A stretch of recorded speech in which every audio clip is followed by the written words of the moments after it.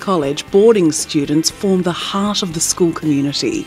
Hailing from across regional Western Australia, their passion for rural life unites them and makes for a tight knit group of girls. We offer boarding places to girls in year 7 to 12 and from all over country, WA. So we have girls from Kununurra right down to Esperance and uh, we do everything that we can to make our families and our girls feel as warm and welcome as possible.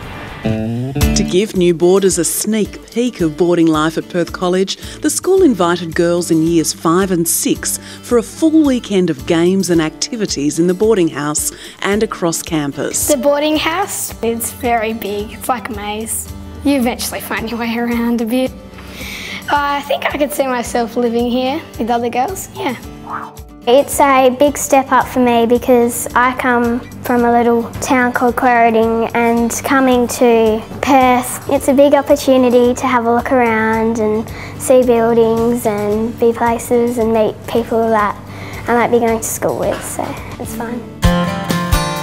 Currently, Perth College has more than 110 girls living in three boarding houses. We're really proud of the facilities at Perth College in the boarding house. Um, all our rooms have internet access. The girls have access to common rooms and kitchenettes and they're in close contact with home all the time. It really is like a, a second home for them. I was a boarder at Perth College for two years and I loved it so much that I've now come back and I work in the boarding house as a resident. The girls are friends across all year groups, all different ages, which is really, really nice to see. The older ones look after the younger ones and they're friendships that last forever. To find out more about our boarding house and the opportunities offered at Perth College, please visit our website.